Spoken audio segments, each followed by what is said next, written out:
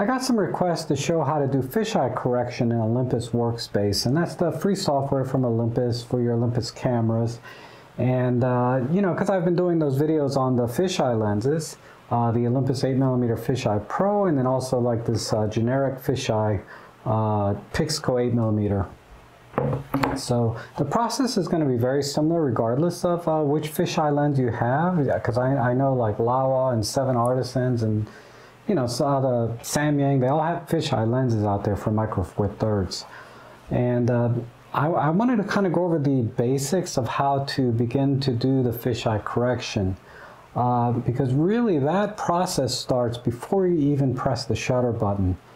Uh, just like exposure, right, in photography, really you want to try to get the exposure correct in camera before you try to do any post-processing uh, things will go a lot easier. So that's where I'm going to start and then we'll go right into Olympus Workspace and I'll show you the steps that I go through.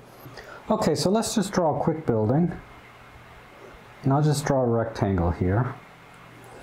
And this represents the side of the building. And then here are the steps that come out like so. And then the door is right in here like so. So let's just say that we're standing here and this is the sensor inside of our camera. So this sensor needs to be perfectly parallel with the front of the building. The front of the building, say, looks like this. Here's our steps. And then here's our door. So if our sensor is perfectly parallel with the building, both horizontally and vertically, we should get a nice square image of the building. But our challenge is here is that the field of view of the camera is like this. So we're getting the steps of the building, but a lot of this part here is all cut off and it's not going to be in the image. So the only way to get the rest of the building in the image is what? Obviously just back up to over here so that the field of view captures the entire image. But that's not always an option. Sometimes the only option we have really is to um, tilt the camera up, right? so if we start to tilt the camera up, then we can capture the entire building. The problem is now you're going to get a keystoning error like this. The building is no longer going to be square. It's going to be more like a trapezoid. And then our stairs will be like this. And then our door will also be kind of an angle. And you know what I'm talking about. You've seen these kind of pictures. You've probably taken some like I have. I've done this many times. So you want to try to minimize how much you pitch the camera vertically the, as much as you can. So back up as much as you can so that you tilt the camera as little as you can to minimize this kind of distortion. Let's look at this building another way. Let's say we're looking top down like this. So this is the top of the building. And then here are the steps that we have and there's the door right there.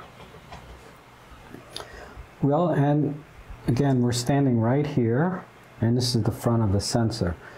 You want the front of the sensor to be perfectly parallel with the face of the building. So the face of the sensor has to be parallel with the face of the building, just like so.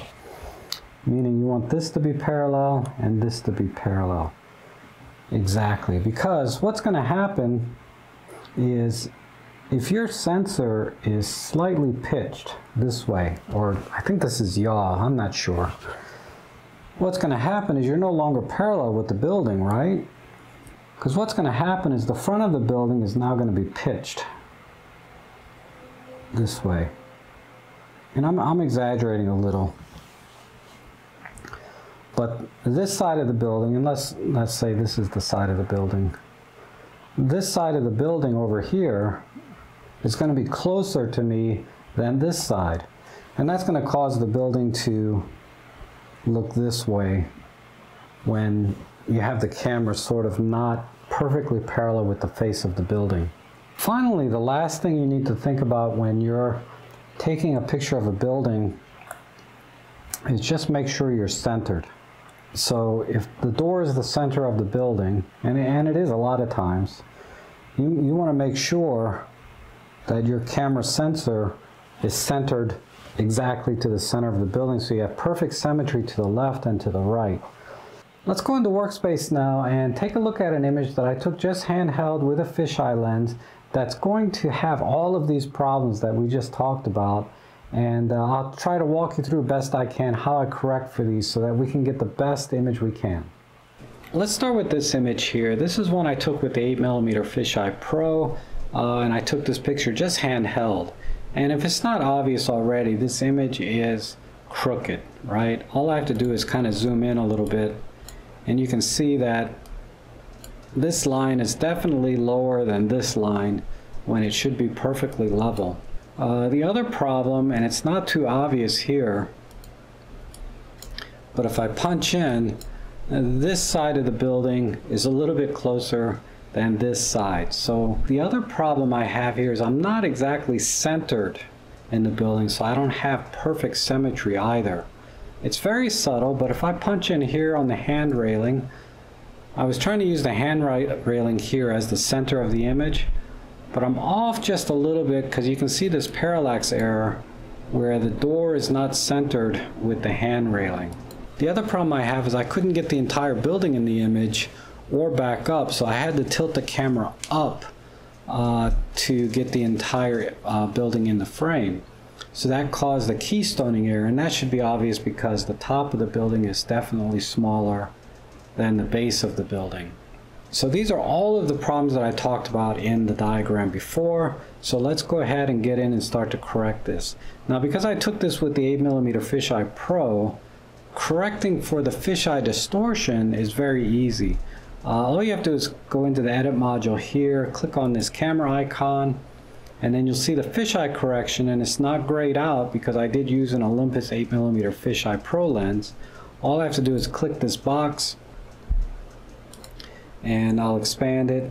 But you can see this is on auto. We could do it manually as well, but for the most part, that corrects the uh, bent lines and distortion that we get from the fisheye. But it did not correct for the other problems that I talked about.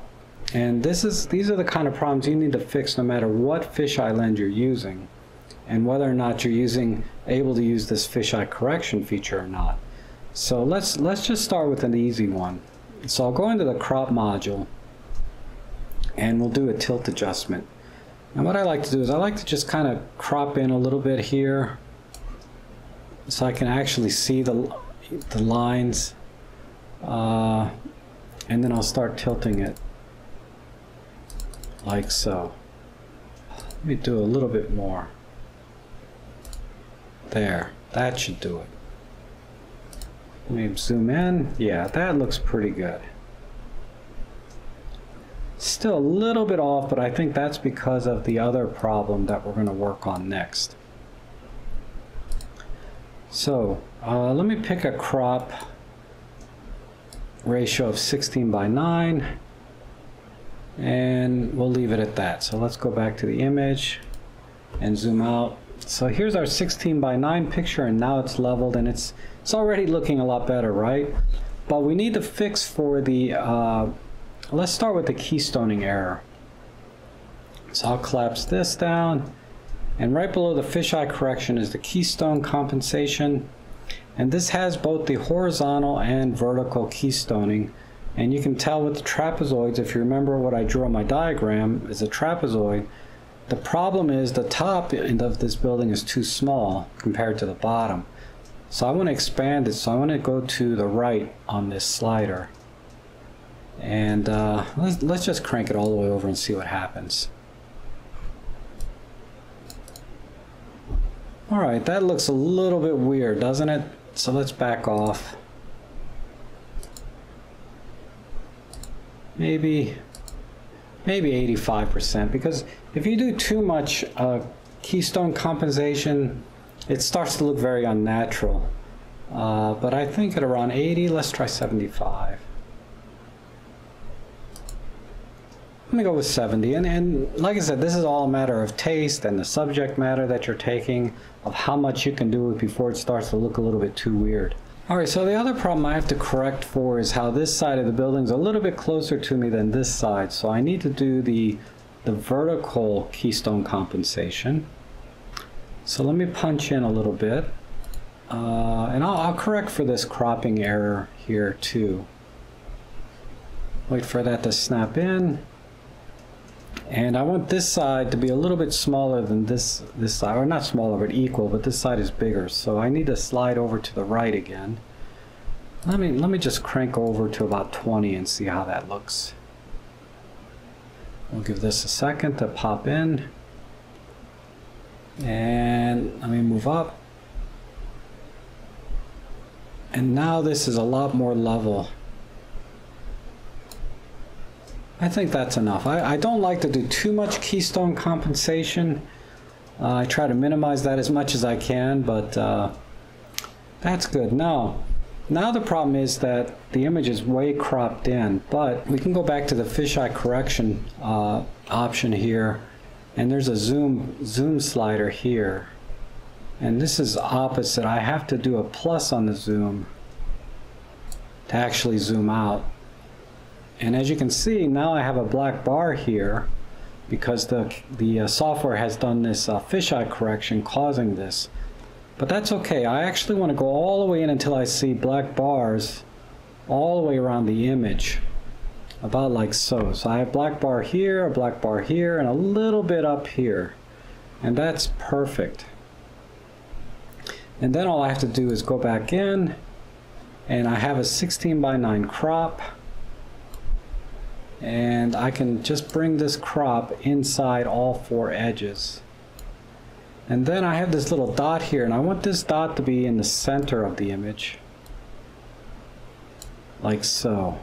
Let me move it over. There, now the dot is in the center of the building. This dot is centered with the center railing.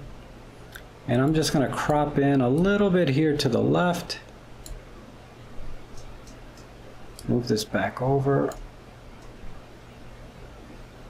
Looks like I'm cap capturing a little bit of black bar. But that looks pretty good. Maybe I'll crop in just a little bit more. There. Alright, let's go back to the camera module and see how that looks.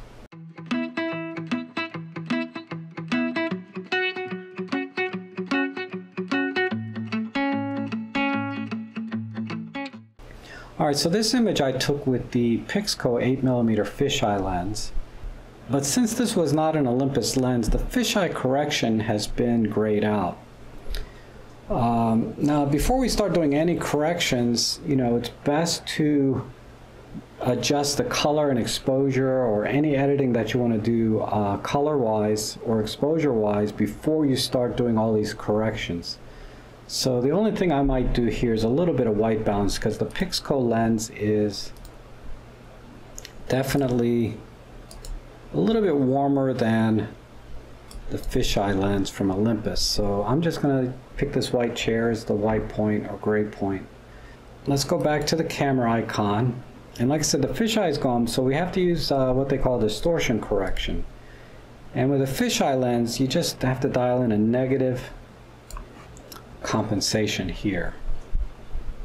And as you can see, I maxed it out at minus 100 and it got rid of most of the fisheye distortion, but you can still tell there's a little bit bowing here, just a little bit, especially with this lamppost. And since we can't do any more uh, distortion correction here, what I have to do now is I, I like to export this image with that correction and just do it over again. So I'm going to add the letter A here.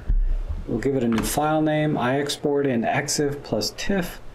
Uh, and this is supposed to be the maximum quality. I mean, personally, the jury's still out in my opinion on that, but uh, for now, we'll just export it as TIFF and click export. And then we'll watch the uh, progress bar over here. And when it's done, it should pop up right next to the raw image because all I did was add the letter A and now it's here. Now that I have the image, uh, all I have to do is apply this distortion correction again and I'll just do another 100%. And depending on the lens you have, you may not need to do that much. Um, but you can see this is already starting to look better. Uh, that may have been a bit too much. Let me just back it off to maybe 90. Yeah, that looks good. And, and the best I can do is eyeball it here. Uh, now, let me try and level this, and I'll use this green line right here to level it. So I'll go over to the cropping icon. And let's see, I think I need to do a negative. No, let's do positive. And I'll click the camera icon and punch in and see how close I got. Oh wow, that's pretty good. Alright, so now let's try and correct for that uh, keystoning error. And it looks like they have something here that would do the same thing, but I'm just going to go back to the keystone tool and do it this way.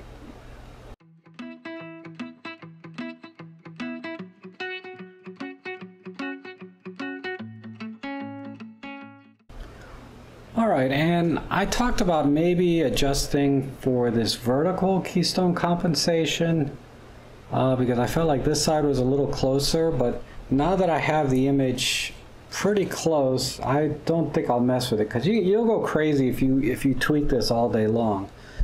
So let's just stop here, but you can you can keep going if you wanted to, but I think uh, for all intents and purposes, this is as good as it's going to get uh, using Olympus Workspace.